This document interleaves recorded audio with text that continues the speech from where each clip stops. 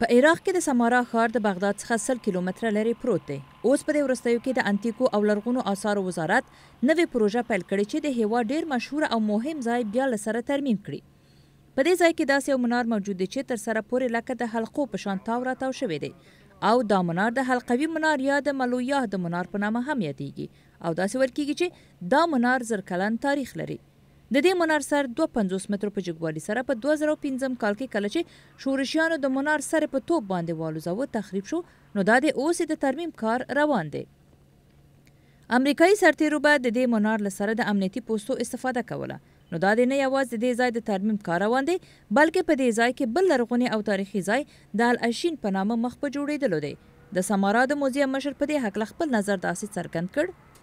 وضعت دا ځای د بمونو د چاودنې له امله ویجاړ شوی و، اوس موږ د بیا رغونې کار پیل کړی، موږ غواړو چې د منارو څنګونو کې کوم چاودی چې منځ ته راغلی هغه ترمیم کړو. ډېر په دې عقیده دي چې دا ځای په نهمه پېړۍ کې د اسلام د خلیفه المتوکل له خوا جوړ شوی دی، کله چې د سمارا ښار د بغداد په شمال کې یو مهم ښار و او دا ځای د عباسیانو د حکمرانۍ مهم مرکز و. خالد وايي چې د دوه زره او پنځم کال چاودنه دا منار ډېر زیانمن کړ او څنګونه یې راولوېدل او هرې خوا ته د منار خاورې ورژېدلې. خو بیا هم دا ځای په عراق کې د سیلانیانو لپاره یو ډېر مهم او د لیدلو ځای ګڼل کېده.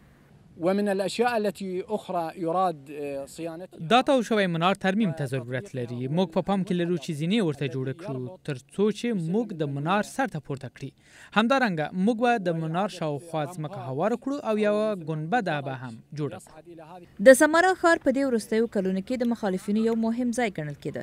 د دوه زره او شپږم کال د فبرورۍ په میاشت کې هغوی د العسکرۍ په جومات باندې بمونه ور وغورځول چې د مذهبي جګړو د پیلودو سبب شو او د لس زرو خلکو د مړینې سبب وګرځېده.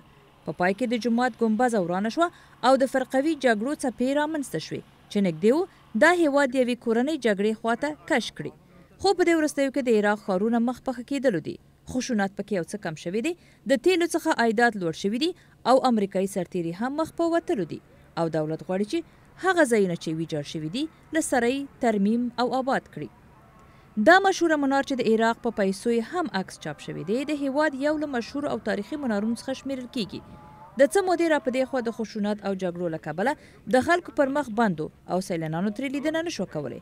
د دې ځای بیا رغاونې به یو ځلې بیا د دې هیلې پیدا کړي چې د دې تاریخي او نه هېرېدونکي ځای څخه یو ځل بیا لیدنه وشي.